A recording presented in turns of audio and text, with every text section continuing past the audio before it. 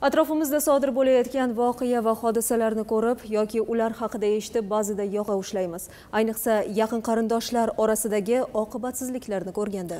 To'g'ri aytasiz chindan ham tug'ishgan jigarlar o'rtasidagi ayrim munosabatlarning ayanchli oqibatidan kishining ko'ngli buziladi.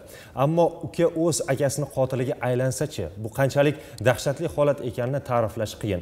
Navoiyda spirtli ichimlik ichgan uka o'z akasini o'ldirib qo'ydi. Hozir shu haqda.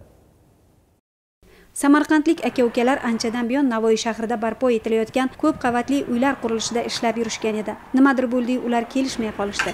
Shunchaki tortishuv dahanaki jangga aylandi. Jahl otiga mingan uka ketmon dastasi bilan akasining bosh qismiga zarba berdi. Pulimiz bor o'rtada shundan hisob kitobdan adashgandik.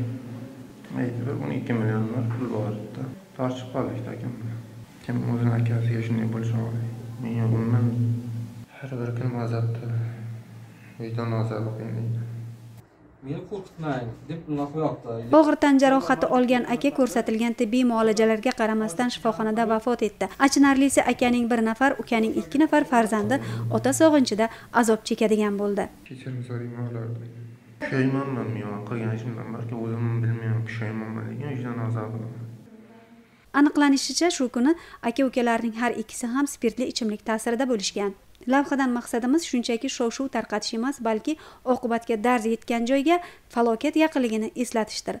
O'z jigarining qotiliga aylangan ukaga nisbatan jinoiy ish qo'zg'atilib dastlabki tergov surishtiruv ishlari boshlandi.